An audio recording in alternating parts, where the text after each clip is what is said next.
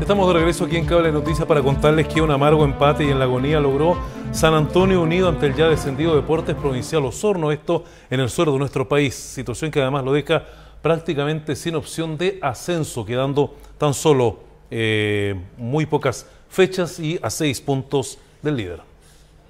Hasta el estadio Rubén Marcos, más conocido como el Parque Chot, llegó San Antonio Unido para enfrentar al ya descendido Deportes Provincial Osorno equipo sin presión que bajo las órdenes de Nelson Cosio ha hecho sufrir a varios de sus rivales en su casa. Esta no fue la excepción, ya que San Antonio Unido no pudo tener un juego fluido y debió buscar por medio de centros llegar a la portería de los toros, pero la aplicada defensa de los locales y su rápida salida hacían pasar más que un susto al equipo de Guillermo Pérez. Parejo partido de pocas opciones de gol que con la igualdad en cero se iban al descanso. En la segunda etapa, el fútbol y dominio del balón se inclinó para la escuadra local, que ganaba metros y también protagonismo en la cancha. Constantes llegadas y fallas del bloque defensivo Lila que hacían figura el portero Lila David Reyes, quien salvó en varias oportunidades al Sau. Pero en los minutos finales y tras un contragolpe llegó la apertura de la cuenta por parte de Osorno. Potente y esquinado remate de Víctor Soto que no pudo despejar Reyes y era el 1-0 del partido en 84 minutos de juego.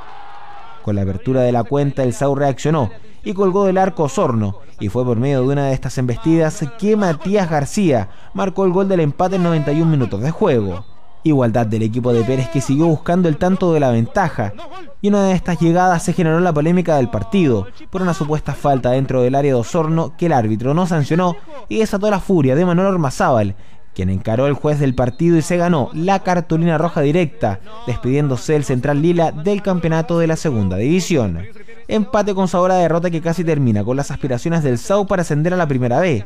ya que a falta de dos fechas los Lilas quedaron a seis puntos del líder Deportes Vallenar, quienes con tan solo un empate darán la vuelta olímpica, mientras que el SAU deberá ganar sus dos partidos ante Colchagua de local y Santa Cruz de visita para esperar el doble tropiezo de Vallenar para aprobarse a la corona aunque la diferencia de goles no favorece a los lilas. Buena campaña del SAU que lo tiene en la parte alta de la tabla de posiciones, pero prácticamente fuera de la competencia por el título del campeonato de la segunda división del fútbol chileno.